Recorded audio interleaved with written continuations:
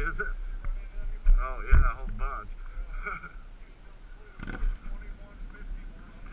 yeah, I, there's a guy with them. You know that guy that has them two big like Malamutes, some older ones.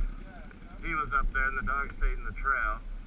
Then I got around him, and I was going too slow, and I went to the right side where that big root is, and I got caught, and I was spinning my tire, and I had to back up, and I've got over it, but then, yeah, there's a lot more people up there. I can see that tree root you're talking about. You could drill that weird, yeah. Oh.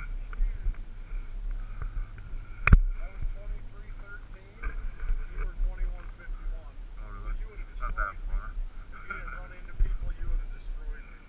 Even the people didn't really, you know, the dog slowed me down for a minute, but I think the tree root slowed me down when I stalled it. I think I stalled it twice. But yeah, that was, I was like, yeah, Because I seen all these guys take off. right.